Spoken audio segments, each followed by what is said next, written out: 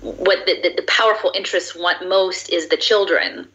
You know a lot of their, their programs are sort of 2035 2050 they want um, today's preschool children um, they want them to not to know light any kind of life the way we knew it. No freedoms. They don't want those children to understand anything of what a, sort of a free autonomous artistic creative life would be.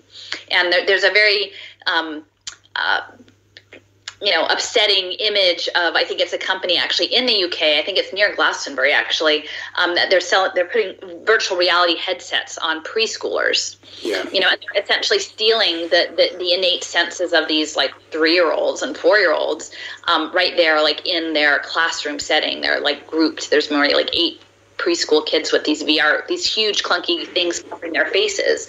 And so you know they're grooming this young generation i mean for me you know i'm in my early 50s so that i'm like i'm you know i'm not, not, worthless to them they're they, you know they want to get rid of us as soon as possible i'm sure and move on to the yeah. the nice shapeable commodities that are coming up mm-hmm. but i think that is why those of us who are in positions of um, speaking out need to because if we don't speak out surely that those children are not in a position to protect themselves.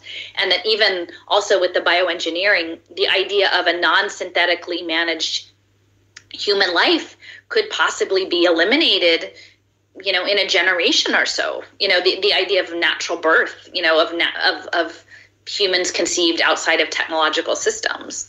And that's a pretty intense and terrifying prospect. And i guess my question wondering, like, within the conversation around reproductive justice and, you know, bodily choice and autonomy, it, it frustrates me that those communities are not attuned to what's actually happening.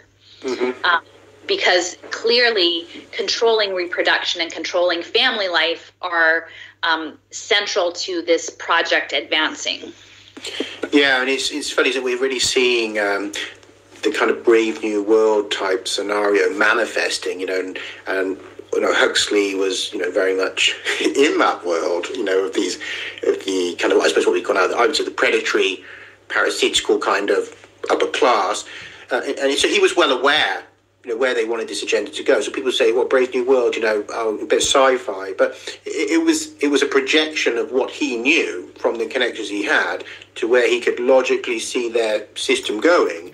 And in fact, it's quite accurate, you know, because we have got to the point, haven't we, where we've got these now these prototype external wombs where we can uh, potentially grow a human being. Um, we can obviously create the embryos, you know, outside of the body already, but we can grow the fetus in these external wombs, and that they you cut out that sacred part of you know the reproductive system, you know, where there's any sense of of, of love in the creation of that child, and also no being inside the mother, you know, and obviously the child develops hearing. We know now, of course, don't we, that the, the it, developing baby is hearing and sensing inside the womb, and that's part of the development of a of a normal, healthy, functional human being. So again, we're taking away a whole key stage of development and kind of robotizing